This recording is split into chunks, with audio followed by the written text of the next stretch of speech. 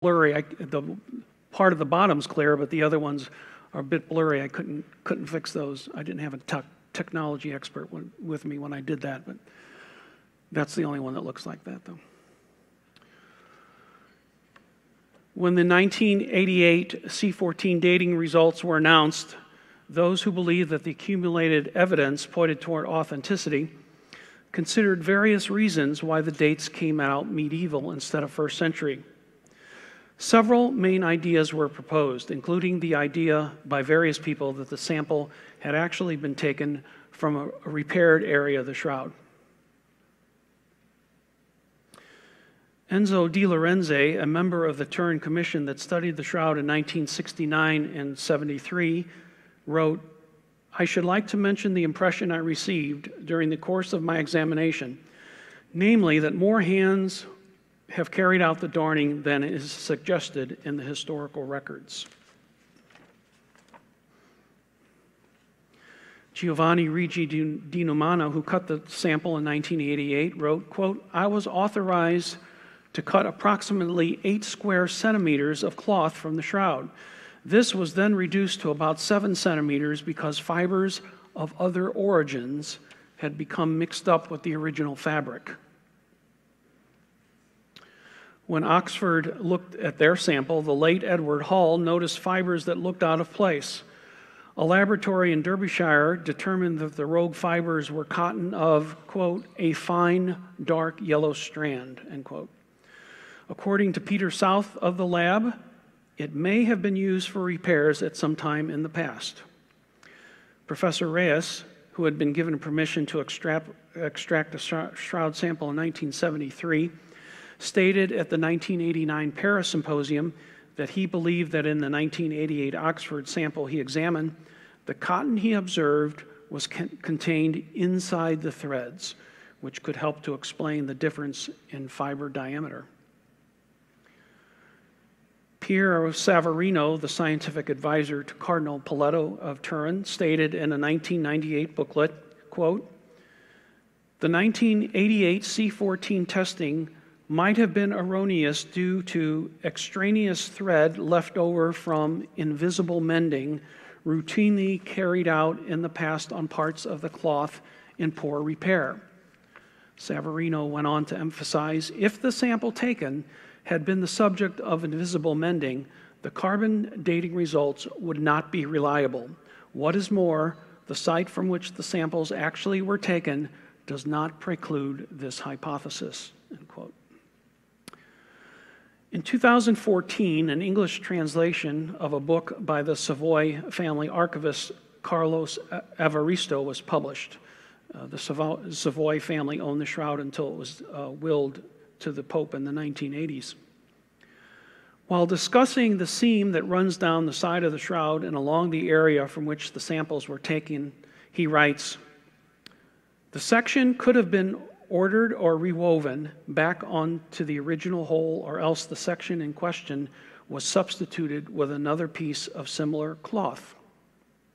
He added, Another fact confirmed by His Majesty was that it was tr- traditionally affirmed that at one point in the past, the edges of the sheet had become so tattered as to cause embarrassment or criticism of the custodians, and those areas were repaired and rewoven using identical techniques, but obviously with similar yet newer materials containing dyes and other medieval manufacturing ingredients in an attempt to better blend the new sections in as best possible with the original fabric.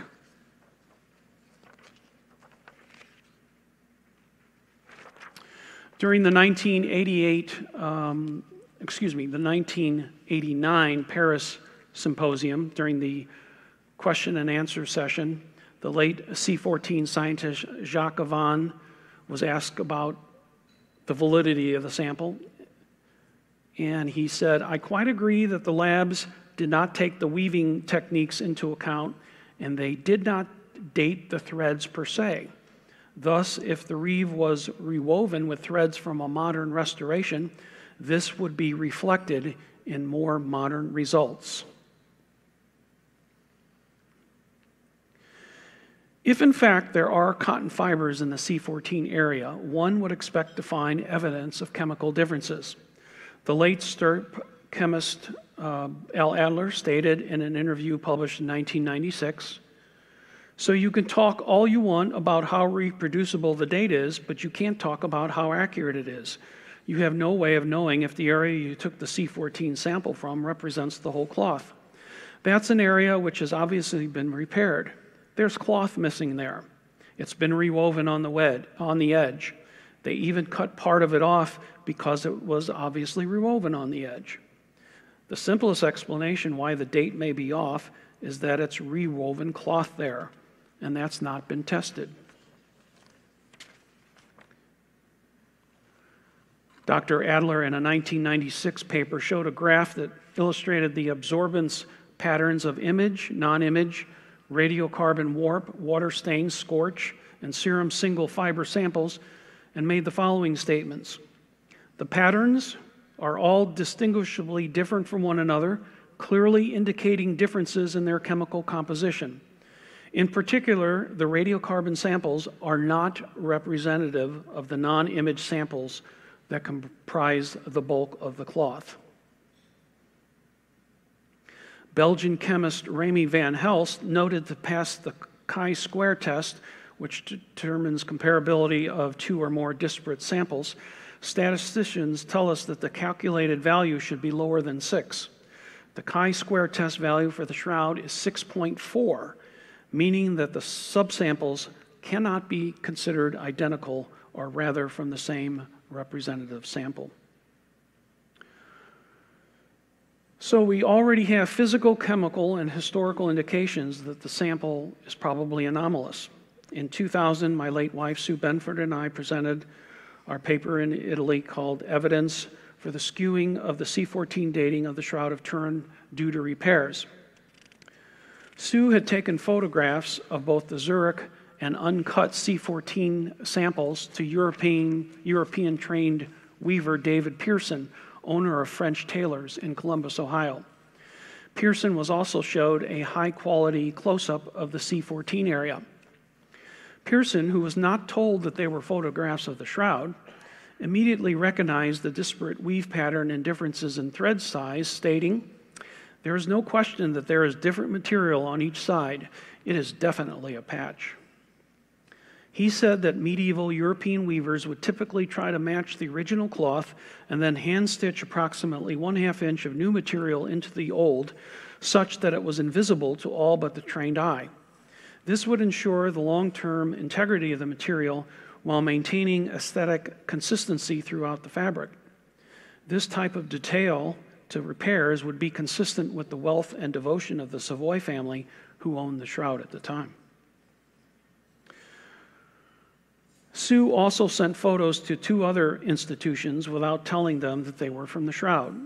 A blinded analysis of a photograph of the Zurich C14 sample by Thomas Ferguson and Company Limited in uh, Ireland, world renowned makers of double damask linen, resulted in their perception that the sample was, quote, touched up to prevent unraveling. They further observe we have to say that we see the twill pattern clearly on both sides, but still there is something different left versus right. In a third blinded analysis of the Zurich C14 sample by Albany International, Louise Harner remarked that, quote, the float is different on either side of the sample. It forms a thick, thin, thick, thin pattern on the right side, whereas the left is much more consistent throughout. When the phrase invisible reweaving uh, surfaced, many questioned whether such a technique uh, even existed. I now own three different manuals uh, called Invisible Mending, 1951, Invisible French Reweaving Simplified, 1954, and the Frenway System of French Reweaving, 1962. Another criticism has been that such a repair on the shroud would easily, would easily be visible on the backside, which will be addressed uh, in the next slide. According to that Frenway um, manual, quote, probably the reason this art of reweaving has gone relatively unnoticed is the great, secrets, great secrecy which has heretofore kept all but a few people in the world in ignorance of the techniques involved. These secrets have been closely guarded and handed down from generation to generation to a select few. The only exceptions were people who paid huge sums in order to receive knowledge of the art. Every novice reweaver had to spend years as an apprentice.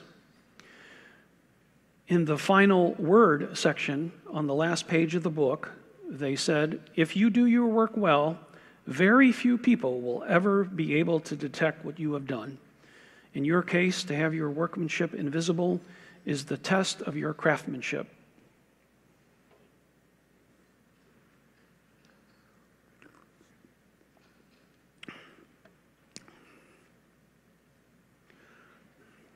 Michael Ehrlich, owner, owner of Without a Trace uh, in Chicago, that's withoutatrace.com if you want to look at their website.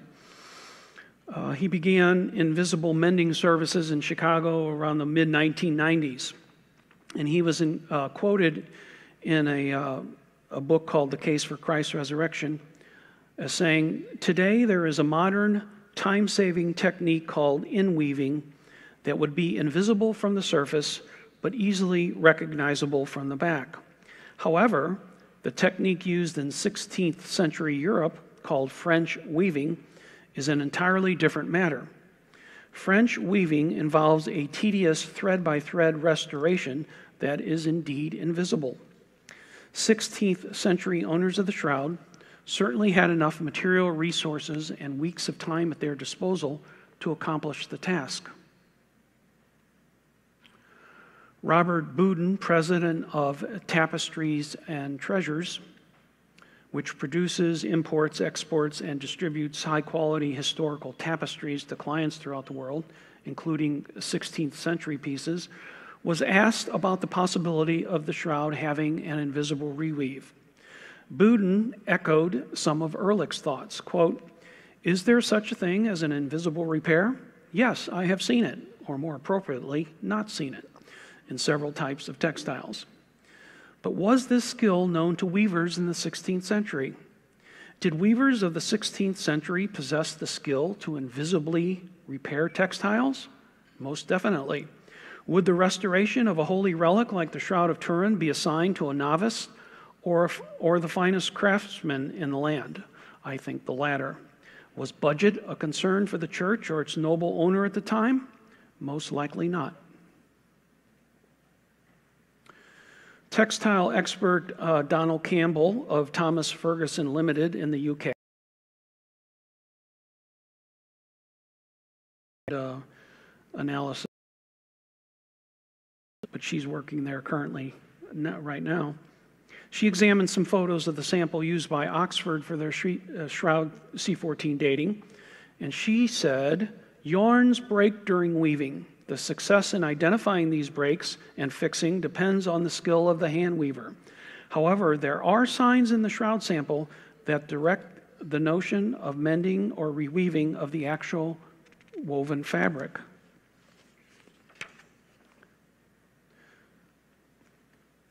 The late STURP chemist Ray Rogers thought that the repair hypothesis was nonsense until he started working on fibers located next to the C14 samples and later on an actual leftover sample from the 1988 dating and compared them, compared them to the fibers he still possessed from the main part of the cloth from the study in 1978.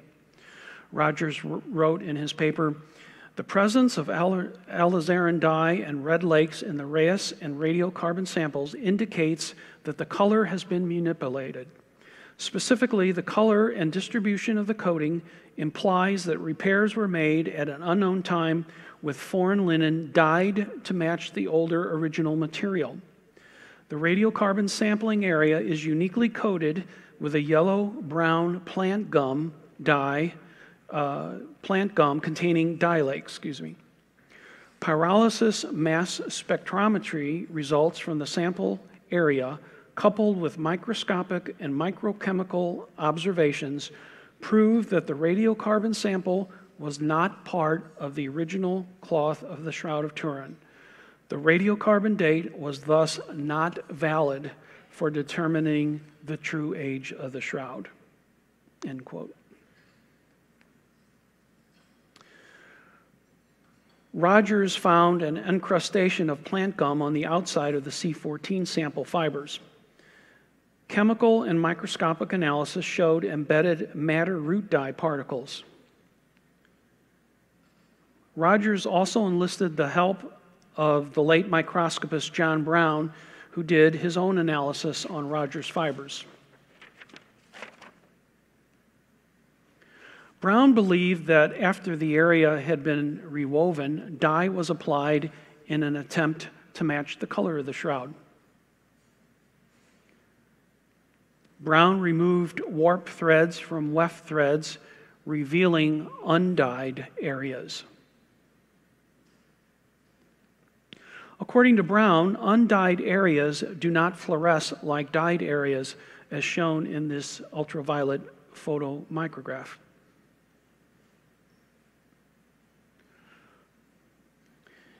In both the Raes and C14 samples, cotton fibers were found interwoven with the linen. Apart from some surface cotton fibers from STURP members' gloves, no cotton was found anywhere else on the shroud.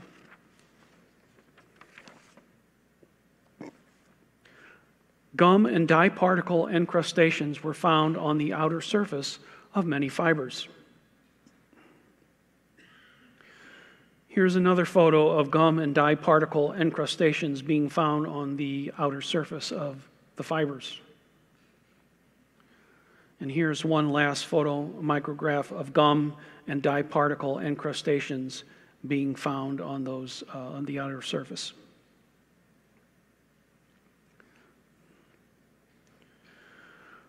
Ray Rogers also sent some Raes sample fibers, one that uh, uh, had been right next to the C14 samples, to Los Alamos chemist Bob Villarreal, who confirmed Rogers' findings of a splice. Villarreal wrote, The many strands of fibers from the three threads analyzed gave FTIR signature of cotton and definitely did not give evidence of linen. Villarreal agreed with Rogers that the samples were not representative of the main shroud. French physician Thibault Heimburger wrote a three part article on analyses of the ray sample that Rogers had and says this about um, the, this previous photo. This discovery is obviously of paramount interest for the following reasons. First, the splice is not at all obvious if we look at the photograph. Raes did not see it. Rogers did, looking carefully at the sample with his microscope. Second, the brown resin like crust, described as a micro-sized circular cocoon shaped brown crust, could not be seen under the microscope. This is very surprising. Third, this shows that this part of the shroud has been managed thread by thread contrary to the main part of the shroud.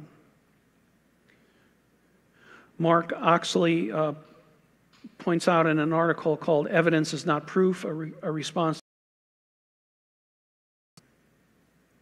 Um, that whereas Dr. Jull of the Arizona lab measured the thickness of the radiocarbon samples at 250 microns, Italian writer Gian Rinaldi stated that the measurements of samples from the main part of the shroud are 390 microns, suggesting a different composition between main shroud fibers and C14 fibers.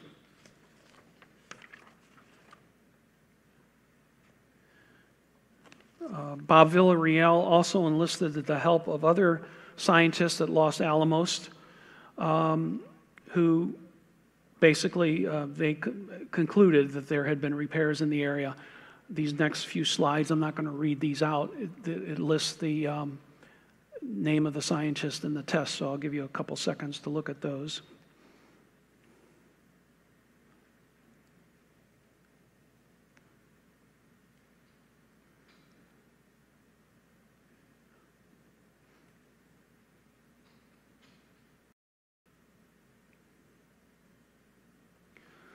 One of those nine scientists, Dr. John Schoonover, gave a PowerPoint presentation uh, to the American Chemical Society in St. Louis in 2009, and he said, Thread is sus- suspected to be from region of shroud repair.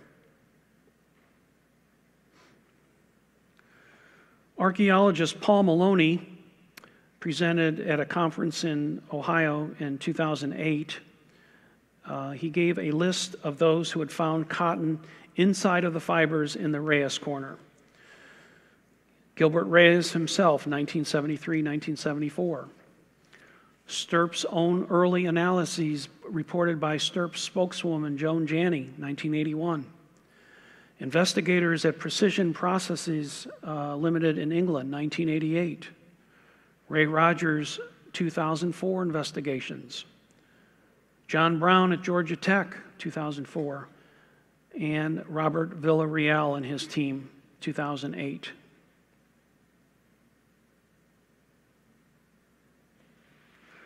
In 2012, John M. Morgan III of the Geospatial Research and Education Laboratory at Towson University wrote a highly technical paper titled Digital Image Processing Techniques Demonstrating the Anomalous Nature of the Radiocarbon Dating Sample Areas of the Shroud of Turin.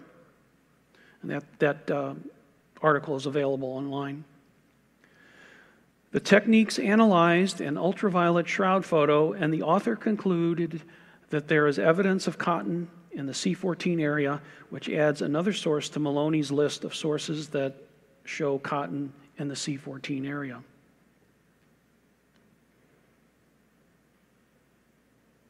STURP member imaging specialist, the late Jean Lorre, was asked about these photos called the Blue Quad Mosaic, for which Lorre said different colors represent different chemical compositions.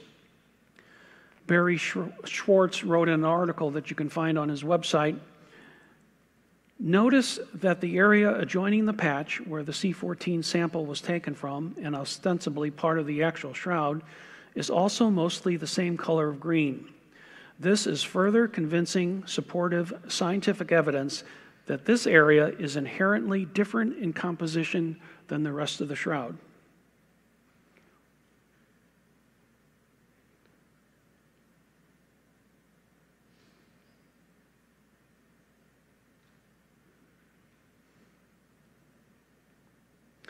Barrie also showed, um, excuse me, he, he uh, sent um, kind of a private message to the Shroud Science Group that Russ mentioned before. It's an uh, online group for researchers. Uh, and Barrie sent um, kind of a private message uh, to the group. Um, I'm going to quote it here. He said, When I examined the C14 sample site at higher magnification in Photoshop, there seemed to be a darker area to the right of the seam that could be interpreted as a positive indication of manipulation.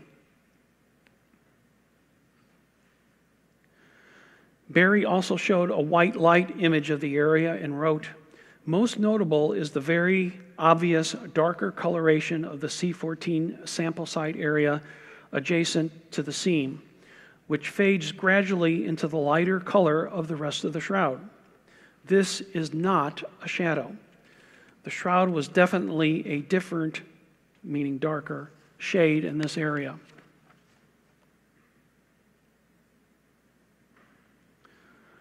In a 2005 paper by Dr. Alan Whanger and his wife Mary titled Radiological Aspects of the Shroud of Turin, they concluded on studying the radiographs, they believe that the shroud had undergone multiple repairs. Cardinal Poletto uh, the, the, advisor to Cardinal Poletto said that the 1988 C14 testing might have been erroneous due to extraneous thread left over from invisible mending routinely carried out in the past on parts of the cloth in poor repair. King Umberto's archivist, Carlos Evaristo, wrote in his book that according to King Umberto himself, the shroud was repaired and rewoven. Giovanni Riggi di Numana, who cut the C14 sample, stated, I was authorized to cut approximately eight square centimeters of cloth from the shroud. This was then reduced to about seven centimeters because fibers of other origins had become mixed up with the original fabric. Oxford noticed cotton in their sample, and when it was analyzed by a lab, they said it may have been used for repairs at some time in the past.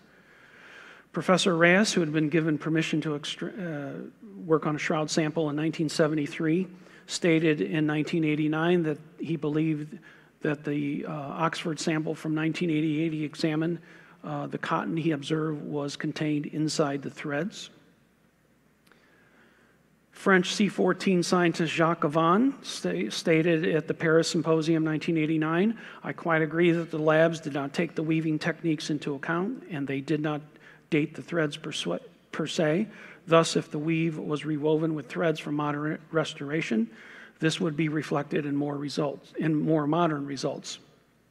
The late STURP chemist Al Adler said, You have no way of knowing if the area you took the C14 sample from represents the whole cloth. That's an area which has obviously been repaired. There's cloth missing there. It's been rewoven on the edge. Adler wrote in a 1996 paper the patterns are all distinguishably different from one another, clearly indicating differences in their chemical composition. In particular, the radiocarbon samples are not representative of the non image samples that comprise the bulk of the cloth.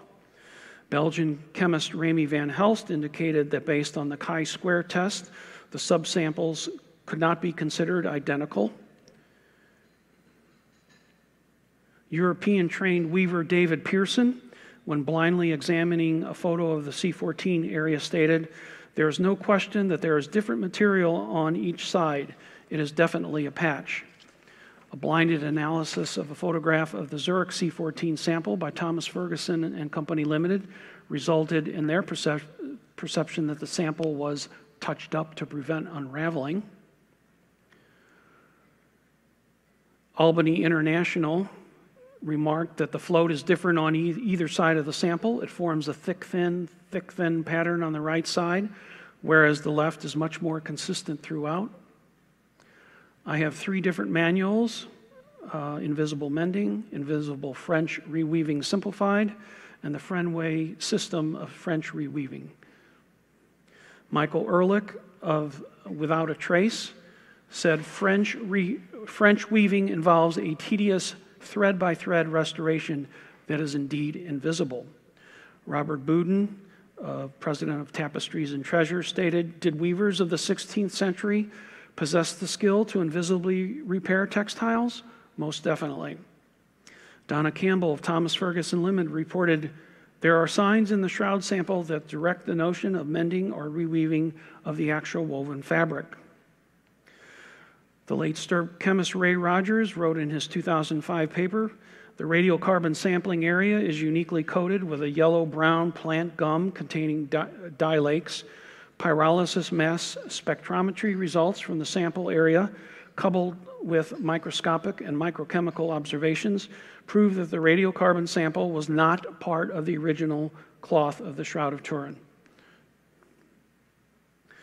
The late microscopist John Brown, who looked at the samples that Rogers had, believed that after the area had been rewoven and dye, apply, dye was applied uh, in an attempt to match the color of the shroud.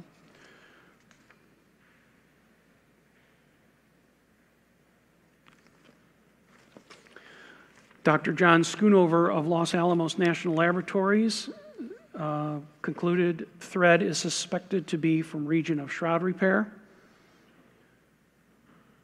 French physician uh, Thibault Heimburger said this part of the shroud has been managed thread by thread, contrary to the main part of the shroud, echoing uh, Michael Ehrlich's comments about a tedious thread by thread restoration that is invisible.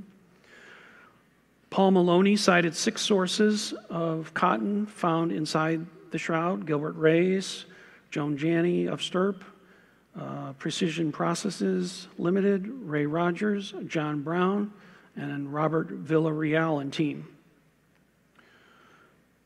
John Morgan's 2012 paper analyzed an ultraviolet shroud photo, and the author concluded that there was evidence of cotton in the C14 sampling area.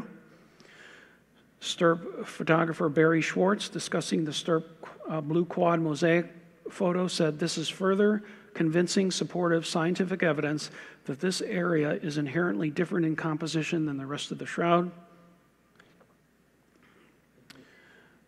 Discussing a transmitted light photo of the coroner, Schro- uh, Schwortz uh, said, When I examined the C14 sample site at higher magnification in Photoshop, there seemed to be a darker area to the right of the seam that could be interpreted as a positive indication of manipulation.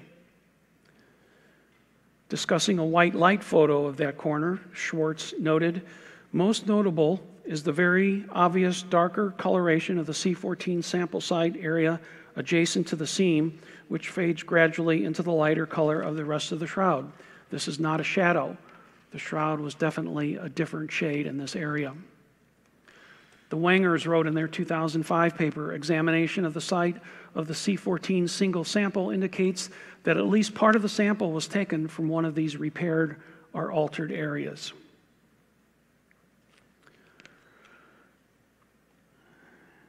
There's a picture of Ray Rogers not long before he passed away in, March 2005.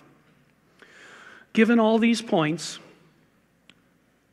I maintain that the been rewoven is the best explanation of why the C14 dating resulted in a medieval date. Ray Rogers, who wasn't even aware of all this data, was convinced by the chemical evidence alone that repairs had been made to the shroud. I'll conclude with a statement that he made to the Shroud Science Group,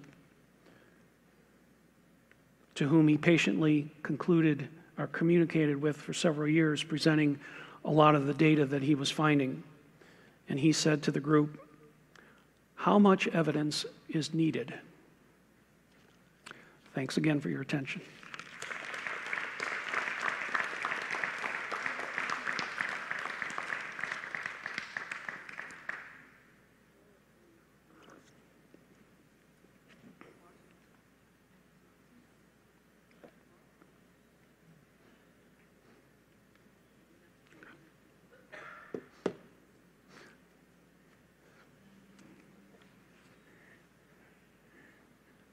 Wade, I think he's going to need some help to switch to his.